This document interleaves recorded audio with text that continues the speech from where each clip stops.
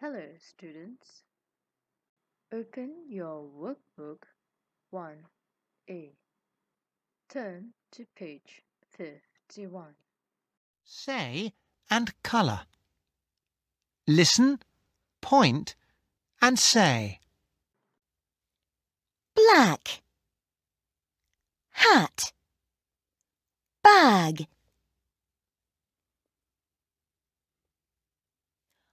orange. Doll. Box. Red. Desk. Pen. Pink. Milk. Sit